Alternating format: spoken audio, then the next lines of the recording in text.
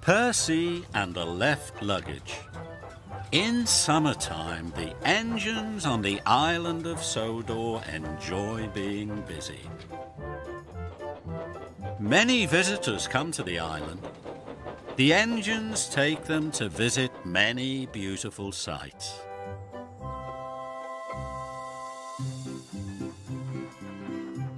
Percy liked the summer. He was as happy as could be. The Fat Controller came to Tidmouth. He had lots of jobs for Percy.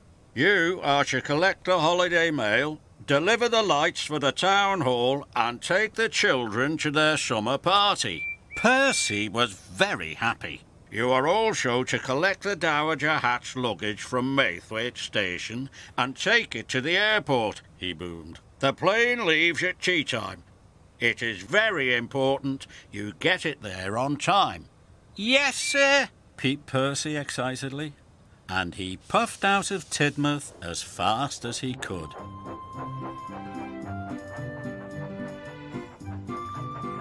Percy steamed through the sunny countryside.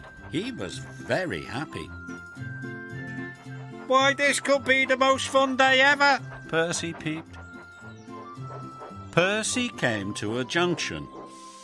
The left track went to Maithwaite Station and to Dowager Hatt's luggage. And straight ahead was the postal depot. Percy thought about which way to go, but not for very long. Taking the luggage is an easy job, he said. I can do that later. And so Percy puffed straight ahead to the postal depot to collect the mail. Percy buffered up to the presents and mail sacks. He wheeshed away as happy as he could be. Percy had lots of stations to go to and lots of people to talk to. Hello, he peeped happily. Some of the wagons were uncoupled, and Percy chuffed on with the rest of his deliveries.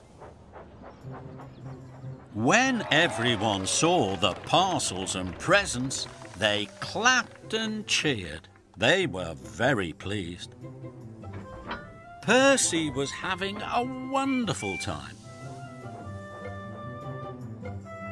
He wished he could do it all over again.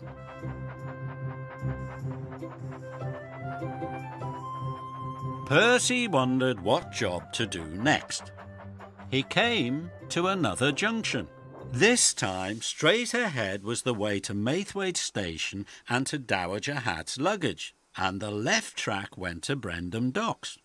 The lights for the town hall were waiting there. Taking the luggage is an easy job, he said. I can do that later.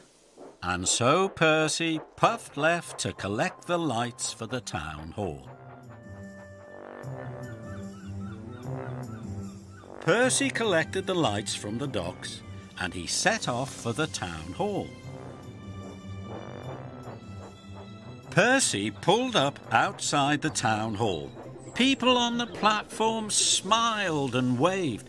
They were looking forward to seeing the town hall all lit up. Percy puffed along. He was feeling more and more excited. Now I can take the children to the party, he peeped. That's the best job of all. Percy came to the junction again. Dowager Hatt's luggage was still waiting at Maithwaite.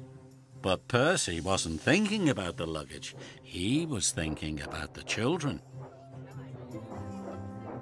Percy collected the children in no time at all.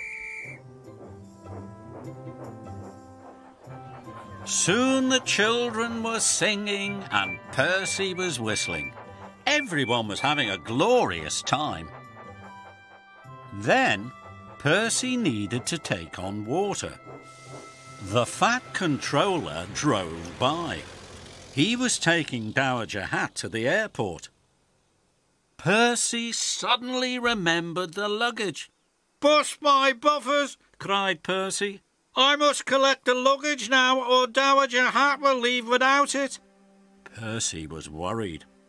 Now I can't take the children to the party. He puffed quickly away. He had to find someone to help him. Percy saw Edward resting in a siding. Edward, wailed Percy, I'm late to take Dowager Hatt's luggage to the airport. Will you take the children to the party for me, please? I'd be delighted, chuffed Edward. So Percy left the coach in the siding.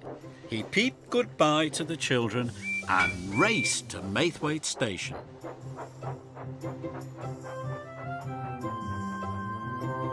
Percy buffered up to the luggage and wheeshed away as fast as his wheels would carry him. Time flew, and so did Percy. He had to arrive at the airport before the Fat Controller. Percy raced through tunnels, he chuffed over bridges, and puffed left and right. Why didn't I do this job first? wailed Percy. Percy arrived at the airport just in time. Jeremy the plane was waiting. The luggage was unloaded just as the Fat Controller's car arrived. I made it on time, peeped Percy. You're a very reliable engine, boomed Dowager Hatt as she boarded Jeremy. Well John Percy, said the Fat Controller. Percy smiled.